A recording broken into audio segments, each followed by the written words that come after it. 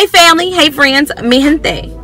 It's another Maintenance Monday. What's up? Hope you're having a great day. In today's video, we are going to go into Sephora. We're going to check out my favorite products for mi pelo and we're going to show you some ones that's in the store that you can pick up that are my favorites. I don't know. It. You might want, these are just suggestions, okay? I'm just giving my playlist from Sephora of what's good and actually how I determine if a product is for me or not. I know, I know, I'm kind of like doing a precursor, but just follow me, just follow me. You'll see what I'm talking about coming up. You know, we never leave our pick. Natural girls, you never leave our pick.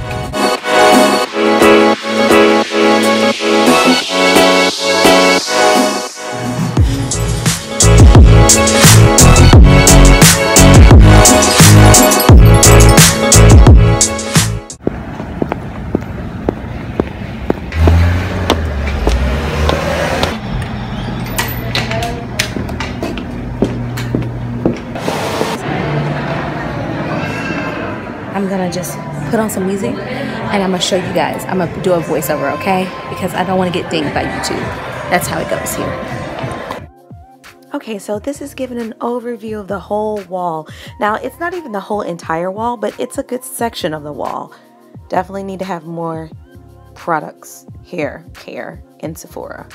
That's one thing that they're lacking in the beauty area. And let's start off with some of my favorites.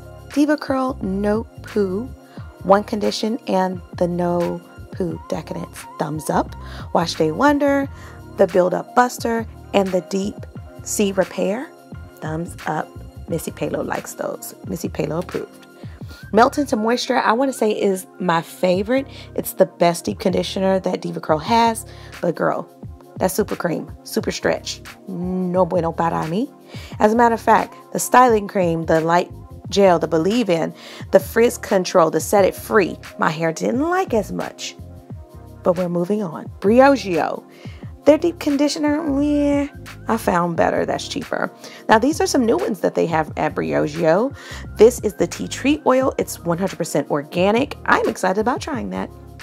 The castor oil, I am excited about this, but I'm more so intrigued because to me, castor oil is, I don't know, the co-wash, definitely want to try that. The curl charisma. Now, I have been curious about this, if it's worth the money. And if you can see the light, well, it's the Try Me, so it's more product in there. But this rice amino gel, y'all, this frizz control gel, is glycerin free. So you know I'm excited about that. And that's um, Nancy, the owner of Briogeo in the background. Hey, girl. now we're moving on to Bumble and Bumble. Now this is their Be While You Sleep this is an overnight treatment. I am so excited. Y'all know what I I love my deep conditioners. I wanted to look at this curl mousse because it's supposed to be for curly hair, but y'all, I don't know. To be so expensive, I don't understand why they don't have ingredients on the back. I need to know if it has isopropyl alcohol, if it's glycerin free. I need to know these things. So please put your ingredients on the back. Thank you. This is crazy. Olaplex is sold out. This is how it looks. Okay, so this is the hair perfector. This would be, oh my God, is this all you get? That is crazy for $28. You get 3.3 ounces. That is crazy. So although this was sold out, I still want to buy it. Still want to buy it. And um, especially that deep conditioner. Although you get 3.3 ounces, that hurt me so bad. Yes, hurt me so badly. But um, let's move on. Moroccan oil, I have some comments about that in a later video. Ouai hair oil, I love. And um, yeah, caviar, I want. I've tried their 10, 10 in 1, really, really good. So, and finally, Let's end with a good one Ouai Texturizing Hairspray. Love it. so that is it. Yes, we did our run to Sephora.